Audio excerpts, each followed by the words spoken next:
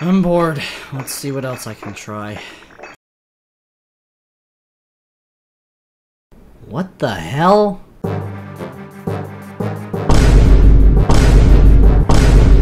Oh god, they've taken over. Surely it can't be that bad to the point in which I gotta make a video on it, right?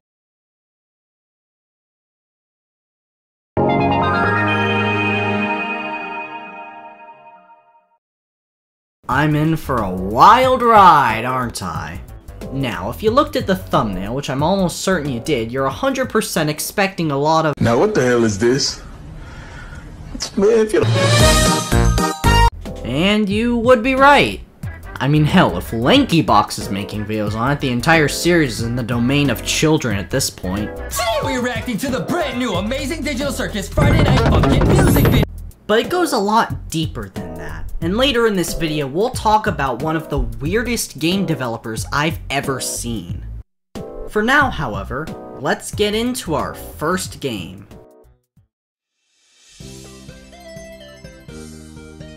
As I expected, this is just a lazy simulator running game with no reference to Digital Circus whatsoever. But hey, since you already have the attention of the toddlers, you might as well make the monetization extremely rampant.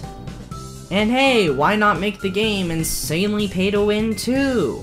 Now, what's interesting is that the day after I played this game, they changed the icon.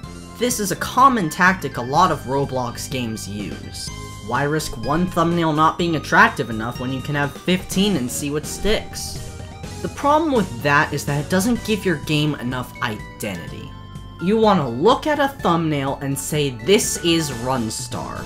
Attaching a popular character to your thumbnail isn't going to make your game stand out, it's just going to make it blend in with all of the other ones.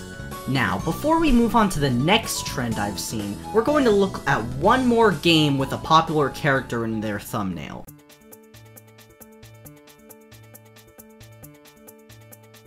Obby but your rope is exactly what you would expect. Extremely bland visuals, clickbait arrows trying to guide you like you're a toddler, which is probably the demographic of this game.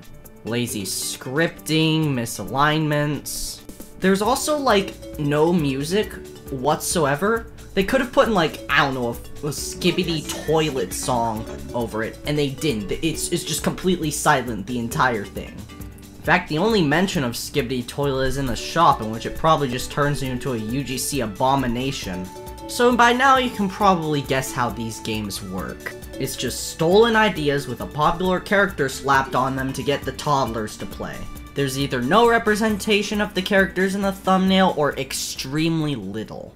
Now that we've went through that, I'd like to talk about a different kind of trend I've seen on Roblox. One that doesn't necessarily attach a popular character to it, but it still exists regardless. These. Games with nearly the same thumbnail the same type of style, but were made by completely different studios. At least, that's what I thought on face value. The two studios who made these games were Picture Perfect and Pear Pre- Wait a minute. These two groups are owned by the same guy! Not only that, but both of these groups have the exact same icon. What the hell is going on? After checking this guy's groups, I realized this guy owned tons of them. All of their groups also had the same three assistant members.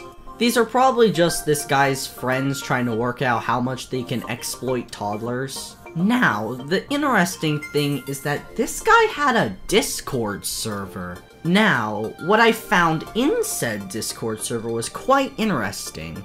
This guy uses one server for everything. I mean, yeah, I'd, I'd understand why you'd want to do that. I mean, you drop the facade for people who aren't extremely young. Plus, it's leagues easier to manage one server instead of three.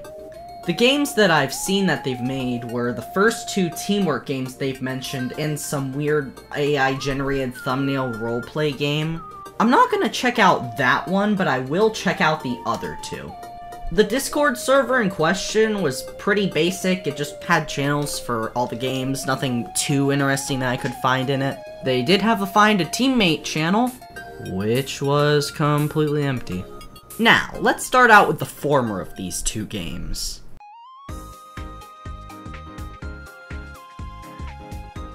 As you would expect, this is just another team up with someone, get through the game together, yada yada yada. Nothing we hadn't seen before, it's just another game trying to capitalize off it. Of course, there was monetization everywhere, and it had a premium payout farm place. Had a premium room egg that for some reason didn't work. This is just a pretty generic game, all in all, really. However, I lied to you. Because I used footage from both games for that segment.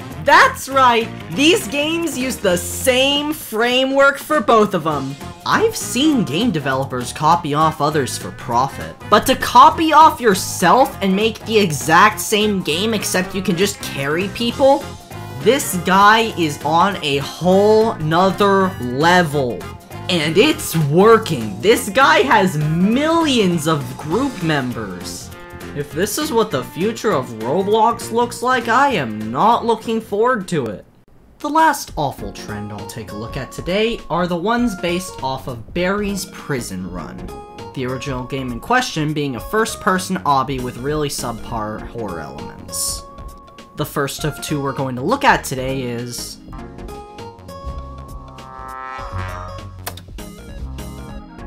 Well, this game certainly is something. You know it's good when you're being advertised a bootleg Skibidi Toilet right out the gate. Yeah, you're being bombarded with frequent pop-ups asking to buy things, but still, this is not a very good game either way. Also, why is the game trying to copy Garten of Banban of all things? Another thing, oh my god, why is this door not tweened? I hate this. With a pop-up every time you die, yeah, it's a pretty generic obby game. Not really that much else to say, so let's just move on to our final thing. Welcome to Borio's Prison Breakout. The first-person game that tries to sell you morphs every two seconds. I mean, at least this time there aren't pop-ups appearing every death that try and get you to buy something. I too love having a Balon sword in obbies. But with all that being said, this whole thing, it just proves my point. These soulless cash grabs are overshadowing games that actually have time and effort put into them. It's becoming more and more apparent that the only way to break a profit on Roblox is to lose all of your dignity. But there are still games that do it right. There are still experiences you can play to have a fun time. So after all of that, are trends really ruining Roblox? I don't really think so. I mean, it has the potential to if tons of people do it, but right now, it's just harmless. We're not the demographic for these games. Developers can choose what they want to do, and if they want to appeal to toddlers, they can appeal to toddlers. These concepts can be executed in the right way. It's just up to the people who actually want things to be their passion projects to actually work on it. Are the games we talked about today bad? Yes, of course they're bad. By our standard to the standards of six-year-olds, they're perfect. We look at everything from our childhood as good, and in a few years, people will look back on these games fondly. We weren't immune to this either. The torch is just being passed down. But on that note, I think that's a good place to end things off for today. With that being said, I'll see you all next- My favorite game is Obby, but your Skibidi stars and prison grow teamwork Obby too!